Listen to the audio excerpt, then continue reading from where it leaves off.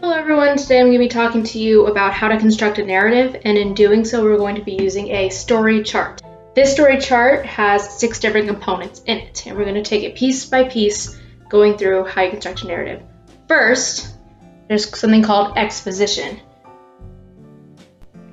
The three main things that your exposition should establish are your setting, your mood, and your characterizations. The second part of your story is your conflict, which is number two. Conflict, which is when the story starts and is the driving force behind your plot. There are a couple different general conflicts that you'll see, which is man versus man, which two different people are fighting against each other. Man versus self, which is like an interior journey. And man versus nature, which is the man fighting against the forces of nature.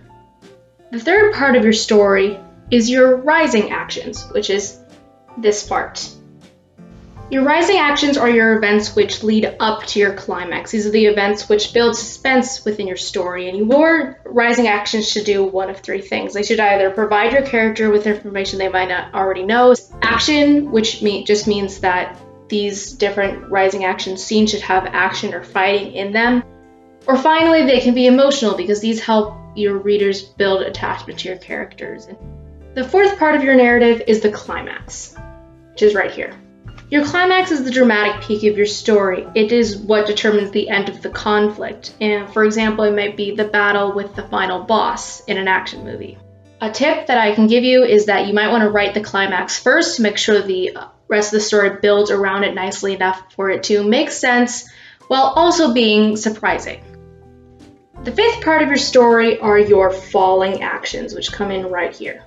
Falling actions are the actions that come as a result of your climax. The climax is supposed to be this satisfying and dramatic moment, but it doesn't necessarily have to be a neat wrap up. It could be that maybe your character makes a choice during the climax that causes them consequences in the future. Lastly, you have your resolution. Your resolution is your ending. It is your what now that says what is going to happen to the characters after the events of the story and how it has affected them. But you should always make sure that something has changed.